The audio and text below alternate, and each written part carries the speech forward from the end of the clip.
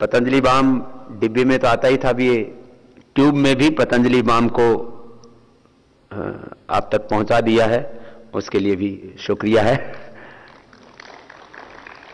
लगाने में लोगों को थोड़ी दिक्कत होती है, डब्बी खोली तो उसमें काफ़ी वेस्ट भी हो जाता था तो ये नए तरीके में ले आए।